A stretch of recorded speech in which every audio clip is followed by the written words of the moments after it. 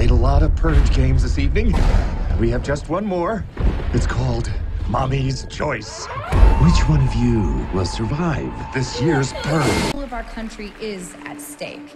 The purge targets the poor and the innocent. The senator's going to win, and she's going to make real changes too. It is a night that is defining our country. It's time to do something about that senator.